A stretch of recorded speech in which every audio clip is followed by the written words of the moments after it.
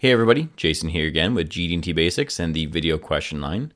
Today's topic is true position for multiple features. And the question submitted is I know that it's an acceptable practice to have multiple features stacked onto the same feature control frame. For example, a through hole on the same axis as multiple critical counterbore diameters may all be controlled when directly above a single positional feature control frame. Is there a section in the ASME Y14.5 that specifically states that this is okay? The short answer is yes, there is a section, and I'll get to that in a moment. But I want to talk about this unique design scenario that not a lot of people know about. So in order to talk about this, I'm going to pull up this example drawing here. Now, this might not be a complete drawing example. We're missing title block and whatnot, but let's take a look at this pattern of seven features right here we see this feature control frame is attached to a couple size dimensions. That is 7 times the 0.397 through hole diameter, as well as 7 times the counterbore diameter of 0.625, and 7 times the depth of 0.375 on all those counterbore diameter depths. Which means we have 7 line items to assess the through hole diameter, 7 line items to assess the counterbore diameter, 7 line items to assess the depth of 0.375, and at least 7 line items for position.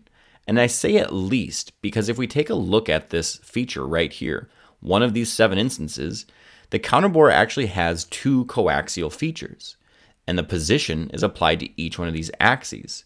And so we can see we can have an axis that represents the counterbore diameter and an axis that represents the through hole diameter. The position control will establish a tolerance zone that each of these axes must lie within.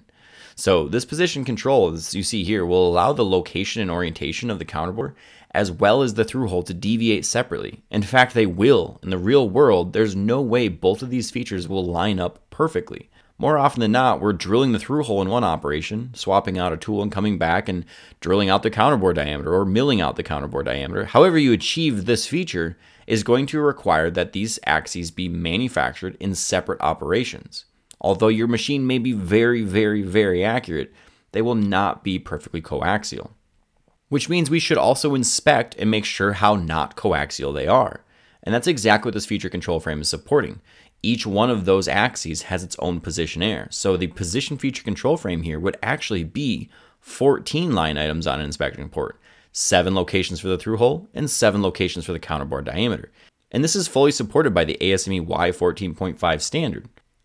Now, if you don't want to control them to the same amount of position tolerance, in other words, maybe you want to give a little bit more freedom to the counterbore diameters since it's not as critical as the through hole diameter, you could easily come in here and say 7 times diameter of 0.397 for our through hole and apply a position tolerance to the through hole diametrically of maybe 0.001 with respect to A, B, and C. And now you can see you can get rid of the tolerance here. So we'd have a separate feature control frame for the through holes and a separate feature control frame for the counterbore diameters and their depth. And so we can control them differently if that's what we require as a designer. But more often than not, the scenario that you see right here is more than enough for most designs.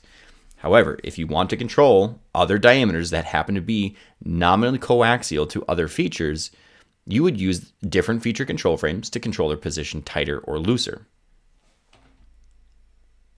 So we can see the axis of our counterbore diameter and the axis of our through hole diameter can deviate separately. But with this scenario here, we're guaranteeing at most they will always be within 5 thousandths of each other diametrically. Now, as far as the standard that supports this, go to ASME Y14.5-2009. It's also in the 2018 and previous standards, but section 7.4.2 in the 2009 standard outlines this theory that where positional tolerances are used to locate coaxial features, such as counterbore holes, the following practice applies. Where the same positional tolerance is used to locate both holes and counterbores, a single feature control frame is placed under the notes specifying the hole and counterbore requirements, just like we saw in our example. Now, identical diameter tolerance zones for the hole and counterbore are coaxially located, or constrained in translation and rotation, at true position relative to the specified datums. That's why we can see here that this tolerance zone is a singular tolerance zone.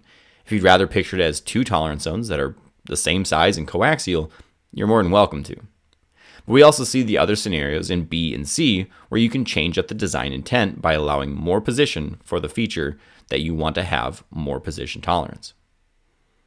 So hopefully that helps out, and uh, thanks for tuning in. Our goal is to be your best source for GD&T information online.